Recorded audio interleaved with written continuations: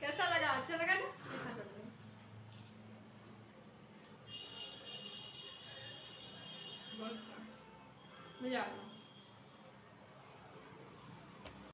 Hello hello good evening friend welcome back my YouTube channel I hope सब अच्छे से एकदम भले चंगे होंगे। और करीब रात का बजा, साढ़े आठ बज चुका है और मैं थोड़ा सा काम से गई थी। तो मैं लेकर आई हूँ थोड़ी सब्ज़ियाँ तो मैं सब्ज़ी में लेकर आई हूँ। आलू और बहुत दिनों बाद तो मैं केले लेके आई हूँ कच्चे। क्योंकि काफ़ी टाइम से बनाया नहीं, कुछ समझ में नहीं आ रहा था सब्ज़ी क्या बनाऊँ। तो अभी मैंने डिनर में भी कुछ भी नहीं बनाया है, साढ़े आठ बज चुका है। लेट हो गया है थोड़ा सा क्या हुआ क्या हुआ? क्या? झूला झूलोगी? लो भैया, पूर्ति को झूला झूलना है। रात में झूला कौन झूलता है? मैं नहीं झूलनी है। अच्छा हेलो कर लो सबसे। हेलो गुड गुड इवनिंग इधर बोलो सही से गुड इवनिंग चलिए इनका झूला लगा देते हैं। क्योंकि इनको झूला झूलना है। और फिर करते हैं डिनर की तैयारी। तो चलिए झूला लगा देते हैं। लगा दे। फिर कौन सा झूलना है बताइए।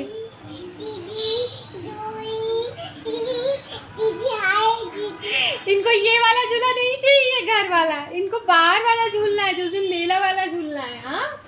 वो लगा नहीं है बिटू। जब कल चलेंगे ना, तब। तो ये लगा दे। तो चलिए ये वाला लगा देते हैं। ये भी मना कर रही थी, ये वाला मत लगाइए। तो ये वाला ही लगा देते हैं। चलिए इनका झूला डाल इनको झूला झुला देते हैं। मैं कैसे डालूँगी बेटा आज अपनी दीदी की पुरानी फ्रॉक पहनी है। नहीं मानते बेबी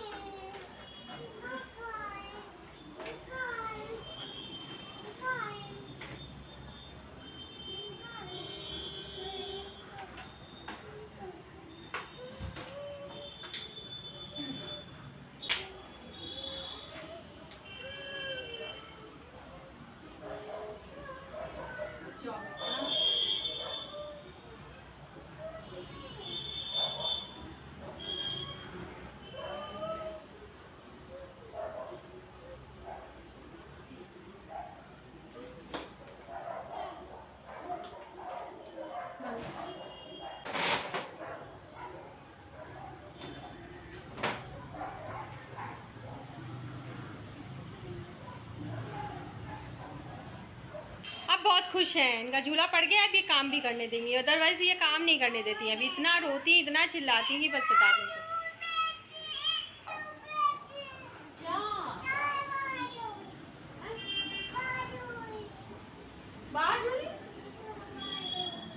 तो चलिए फ्रेंड्स चलते हैं, अपने डिनर को रेडी करते हैं, क्योंकि रात काफ़ी हो चुकी है।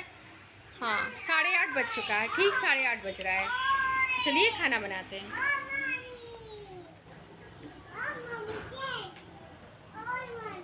और मम्मी तेज ओहो और आप तो डरती हो।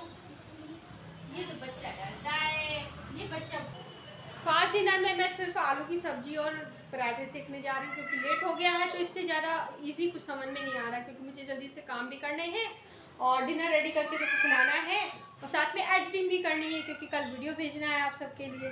तो आई होप आप लोगों को मेरा वीडियो बहुत पसंद आ रहा हो पसंद आए तो प्लीज़ एक लाइक ज़रूर कर दिया करिए। आप लोग के लाइक से मुझे बहुत हिम्मत मिलती है। और न्यू है तो प्लीज़ सब्सक्राइब कर लीजिएगा मेरे चैनल को ताकि न्यू वीडियोज़ न्यू ब्लॉग्स मिलते रहें। तो चलिए स्टार्ट करते हैं आज का ब्लॉग तो चलिए आलू को बॉईल करने रख देते हैं। तो आलू बॉईल लीजिएगी तो फटाफट से सब्ज़ी बना लेंगे। और सुबह सूर्यांशी का आज सेकंड पेपर है क्योंकि कल आज ओरल था उनका। और कल है रिटर्न तो उसके लिए उनको सुबह भेजना है तो उसके लिए भी मुझे ब्रेकफास्ट बनाना पड़ेगा, उसको लंच भी बनाना पड़ेगा। पैक करना पड़ेगा तो मैं इसको आलू की पक, आलू की कचौड़ियाँ बना दूँगी सुबह मॉर्निंग में। तो ये आलू उबले रखे रहेंगे तो फटाफट से मैं उसकी कचौड़ियाँ तल दूँगी। तो चलिए मैं आलू को बॉईल कर लेती हूँ तो मैं सारे आलू को बॉईल कर लेती हूँ। अभी सब्ज़ी भी बना लूँगी और सुबह के लिए उसके ब्रेकफास्ट के लिए भी हो जाएगा। ये वन के जी आलू है तो मैं पूरा ही बॉईल कर देती हूँ। बहुत पसंद आता है तो आलू बहुत ज़रूरी है। बेटा बॉईल करने रख देते आलू, और वो झूले के लिए बुला रही है मुझे। जल्दी आओ, मम्मा, मुझे झूला झुला दो। जल्दी से ये आलू बॉयल हो रहे तब तक हम आटे को लगा लेते हैं। क्या? टॉफी लेके आए हो? ठीक है लेके ये आए हैं तो अभी लेके आए टोस्ट और ये गोलगप्पे। गोलगप्पे खाकर मिलते हैं आपसे।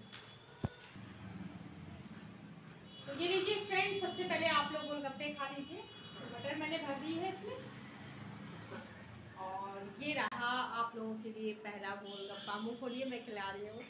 कैसा लगा? अच्छा लगा ना? करते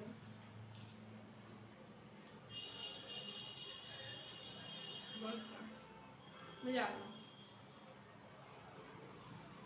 तो चलिए, गोलगप्पे खाने के बाद मिलते हैं। तो सबको खिला के तब मिलते हैं आपको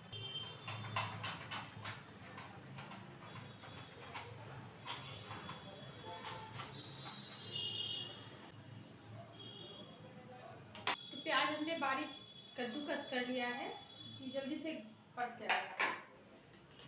आलू भी हमारे हो गए हैं। पक गया।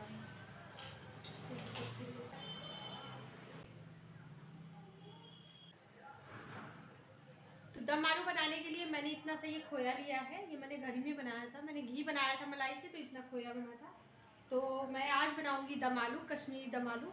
दही के साथ बनाऊँगी, मैं दही भी ऐड करूँगी इसमें। चलिए एक नई रेसिपी आपके साथ शेयर करते हैं। उम्मीद करते हैं आपको पसंद आएगी ये रेसिपी चलिए रेसिपी ट्राई करते हैं। हाँ हमने सब्ज़ी बनाई थी अभी तरोई की तो थी दोपहर के लंच में मैंने बनाई थी तरोई की सब्ज़ी। ये इतनी बची हुई है। इसको हम इसी कढ़ाई में हम इसमें करते हुए मैंने डाला है जीरा। जीरा क्रैकल हो जाएगा। यूज़ करेंगे हम एक बड़ी पिस्ता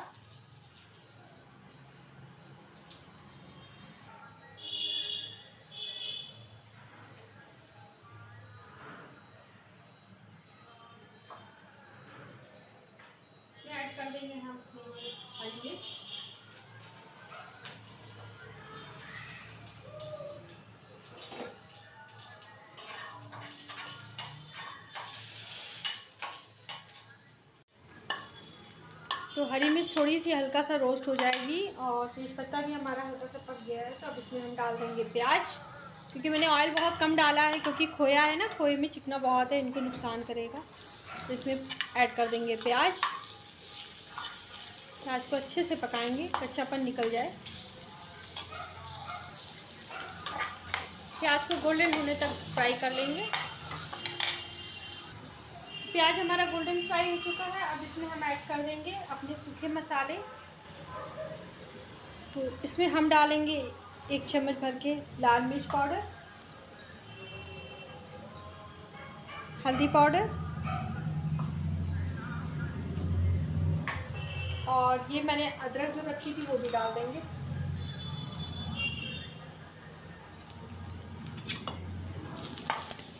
थोड़ा सा रोस्ट करेंगे मसालों को और इसमें ऐड कर देंगे हम ये टमाटर। मसाले को अच्छे से पकाने के लिए इसमें थोड़ा सा हम पानी ऐड कर देंगे।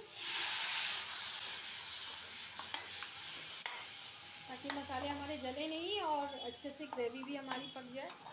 मसाले अच्छे से पक जाए, टमाटर भी हमारा गल जाए, गल सक, गल जाए। और एक चम्मच डाल देंगे नमक, ताकि टमाटर हमारा जल्दी से गल जाए। दो मिनट के लिए ढक देंगे। देखिए हमारे मसाले के हाल है। ये पक रहा है। अब इस प्रोसेस में ही हम अपना डाल देंगे ये कसूरी मेथी।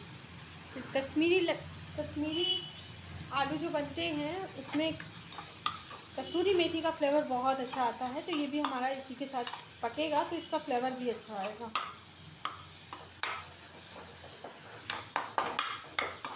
तो टमाटर और प्याज हमारा अच्छे से गलने लगा है। थोड़ी देर इसको हम फिर से ढक देंगे। तो चलिए देखते हैं मसाले के क्या हाल है। तो ये देखिए, हमारा तेल भी सेपरेट होने लगा है और मसाले काफ़ी अच्छे से पकने लगे हैं। इसको हम थोड़ी देर के लिए और पकाएँगे। जब अच्छे से मसाला तैयार हो जाएगा, तब इसमें हम आलूओं को ऐड करेंगे। तो थोड़ी देर ढक कर और पकाएँगे इसमें। तो चलिए फ्रेंड, इस ब्लॉग को यहीं पे एंड करते हैं। मिलते हैं अच्छे से न्यूज़ से ब्लॉग में। ब्लॉग पसंद आए तो प्लीज़ लाइक करिएगा और न्यू है तो सब्सक्राइब करिएगा। Till then bye bye love you all take care bye